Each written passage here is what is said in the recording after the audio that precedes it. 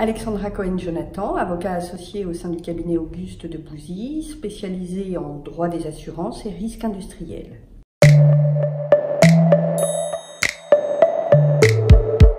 On avance puisque les véhicules autonomes aujourd'hui ne sont pas en circulation. Le calendrier est plutôt d'ailleurs assez lointain euh, en ce qui concerne les véhicules des particuliers.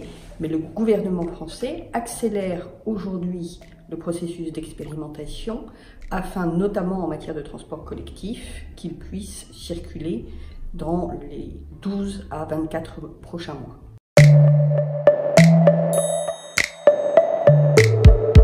L'année 2019 a connu euh, deux importants projets de loi euh, transformés en loi en ce qui concerne la loi Pacte, qui a été votée en mai 2019. Et la loi Pacte favorise l'expérimentation euh, des véhicules autonomes. Quant au projet de loi mobilité, euh, qui est actuellement en discussion au Parlement, il a également pour effet de favoriser cette expérimentation des véhicules collectifs autonomes avec un objectif, leur circulation sur les voies ouvertes à partir de 2020.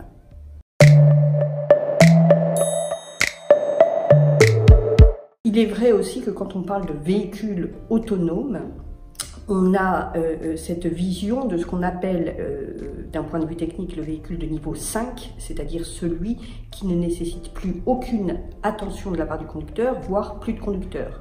Aujourd'hui, nous parlons plutôt de véhicules à délégation de conduite, puisque nous sommes à peu près dans un niveau 2-3 c'est-à-dire que le conducteur n'a plus besoin de mettre ses mains sur le volant et ses pieds sur les pédales d'accélération et de frein.